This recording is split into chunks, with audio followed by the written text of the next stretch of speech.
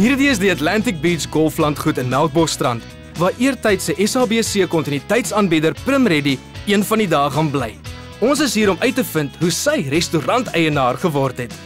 Prim het beloof sy gaan 'n bietjie Afrikaans met my praat vandag. Ja, 'n bietjie. Die gaste in my restaurant sê vir my ek praat baie posh Afrikaans. Uh, Afrikaans is 'n baie mooi taal en ek leer elke dag drie woorde.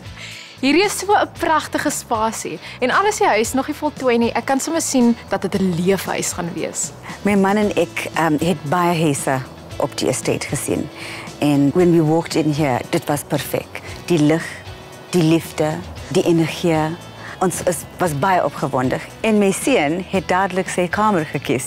Alles was just reg. En die kombuis is die belangrikste kamer in my huis. Ek is mal oor kos maak. My ingredients are very important and most important is that they don't talk back to me. Prim se belangstelling in kos kom al 'n lang pad en sy het selfs haar eie kookprogram aangebied.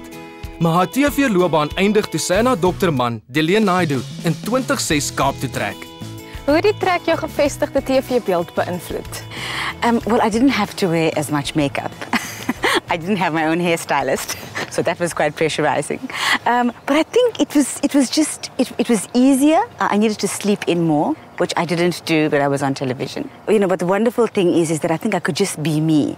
But I think now if I had to go back, I would do it at the drop of a hat. Prim was nie net op TV nie. Sy het ook 'n program, A Word on the Home, aangebied op Radio 702 en Cape Talk. In 2005 kry sy 'n MBA graad en in 2007 begin sy in die koöperatiewe wêreld werk. Haar seun Navdi word in 2009 gebore en nou is ma wees haar nommer 1 rol. Prim om 'n ma te wees is seker 'n voltydse werk, maar jy het ook die restaurant en dan is jy besig om jou derde graad klaar te maak. Hoe doen jy dit? Alles in die lewe is oor balans. En te veel van 'n goeie ding is ook nie goed nie. I love my son and I love being a mother. And I think the beauty about it is that I'm working for Navdi. So everything I do in my life, I'm doing for his future. So I spend as much time as I can with him and I spend the time at the restaurant because I have to leave a legacy for him. And that's what makes it beautiful. And now I want you to meet him. Navdi, come and say hi to Angela now. Wow! Hallo Nafti. Hello. Sê vir my, wat is die beste ding van jou ma? Mom is very friendly and she loved me very much. She takes me to nice places. To Atlantic Beach. The beach with the rocks. There's big crabs there.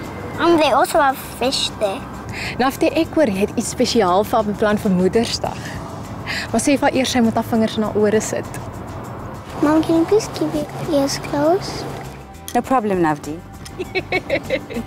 I'm gonna make my mom a card. And I'm gonna make a breakfast. French toast. Dit klink heerlik. So Navdi, we're going to leave you now, but we'll see you later, okay? Prim se eetplek, The Indian Chapter Restaurant in Bloubergstrand, word deur die internasionale webtuiste TripAdvisor as 'n moet probeer gelys. 'n Besondere prestasie vir iemand wat niks van die bedryf geweet het, toe sy die plek in 2012 gekoop het nie. Dis my gunsteling dis. It's a chicken madras. It's fantastic. The flavors are sensational. This is the, the garlic naan made in a traditional tandoor oven, and I eat it almost every night. I mean, that's why I look as happy as I do. Jy het gewys dat jy kan baie maklik van niks iets maak nie. Nou wat is jou raad aan ander entrepreneurs? I think never say never. Um, it's not about what you you can't do; it's about what you can do, and focus on what you can do. So stay committed, and yeah, just understand that if you want something hard enough, you're going to make it happen, and you will. Maar Prim, hoekom dink jy is die restaurant so suksesvol? Passie, liefde, nederigheid. I think the three elements that uh, I've been brought up with, that my father taught me, humility, he believed, is very, very important. Never forget where you come from. And it's just amazing um, the people around you that will help you make it happen. The atmosphere is wonderlik. The most important thing is that the food is the main actor. And of course, what completes the evening is the wonderful entertainment.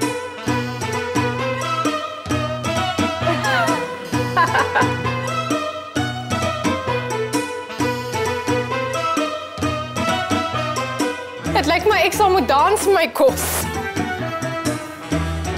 Wikkel jou hippe, darling. En dit kom van iemand wat omtrent gewikkel het om te kom waar sy vandag is. Ons gun jou die sukses, Prim.